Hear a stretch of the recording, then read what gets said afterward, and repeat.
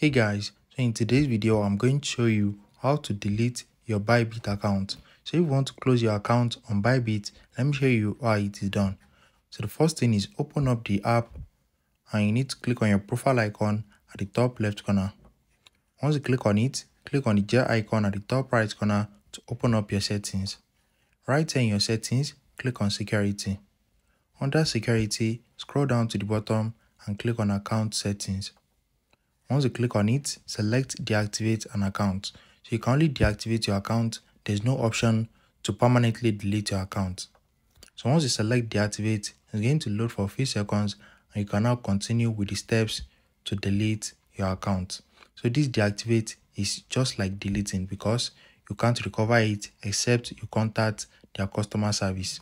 So now scroll down to the bottom and you need to select the reason why you want to delete your account make sure you read all these before you continue.